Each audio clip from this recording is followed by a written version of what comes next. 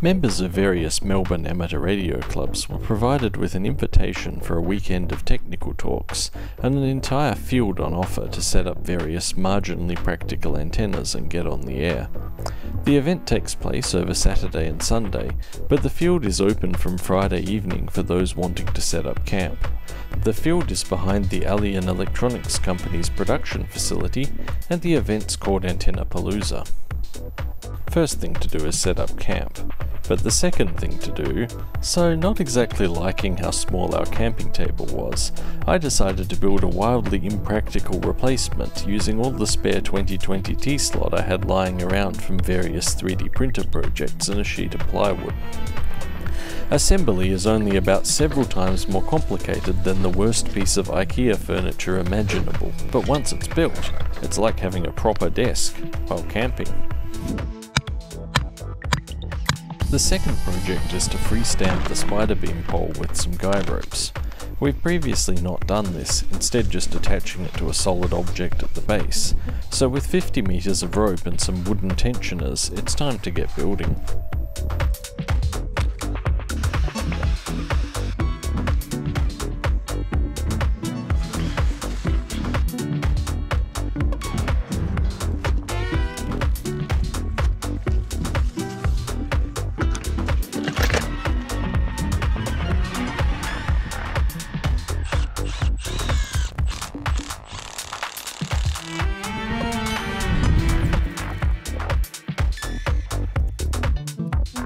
And there it is, ready to take the inverted V antenna, or two of them.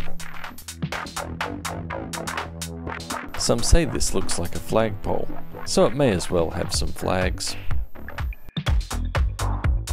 A little annoyingly, the propagation died shortly after I finally got WSJT-X installed. Oh well.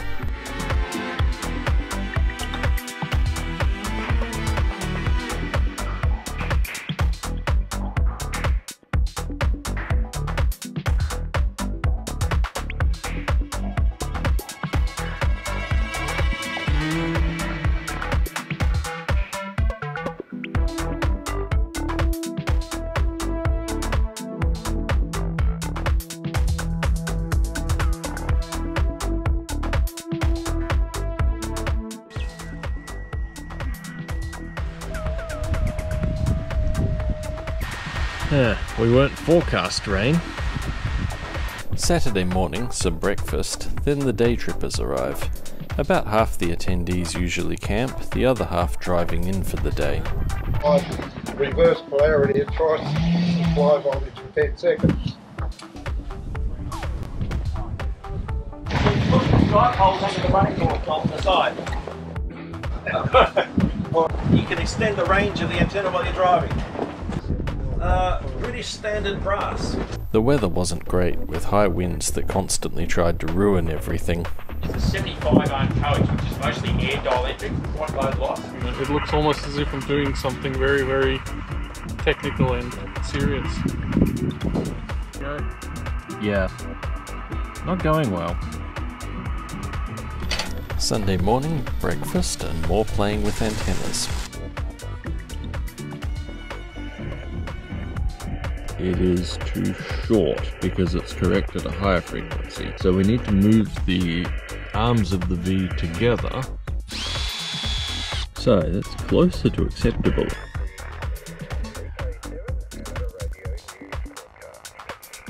And the odd technical problem to be sorted out. Swapping it for the base of another antenna worked, but it had electrical continuity. I don't know what's wrong with it. Lunch and time for more talk on the finer points of maritime radio operation, this time from someone who has outfitted military ships and submarines. Oh, a lot of people thought, oh, you know, oh, it must be safety the reason why they put radio on ships.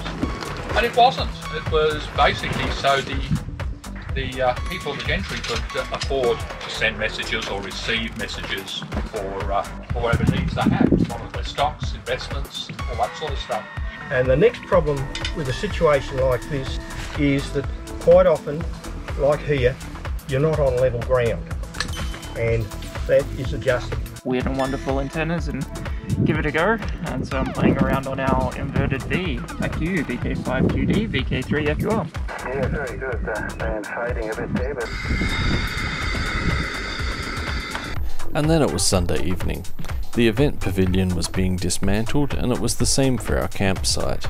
It was a fun time, and we'll certainly be back next year. I think a lot were discouraged from camping due to the weather, so let's hope that's better next year. Those that were were hiding in the forest as it provided some much needed shelter from the wind. And that's all for this one.